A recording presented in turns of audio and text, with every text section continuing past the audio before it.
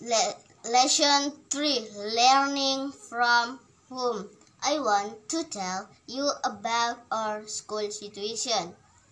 We have been learning online during seven months because we can um, attend the school to outbreak outbreak of the coronavirus. Now we just learn from home through through the internet.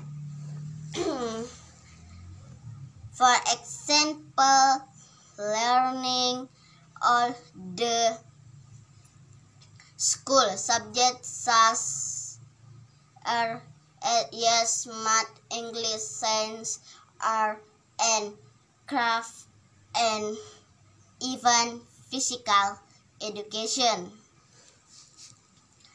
All from the internet online to the teacher. We don't use school facility at all. We just use internet, computer, laptop, and smartphone. The Ministry of Education Nadiem Makarim said we can enter the school by January 2021.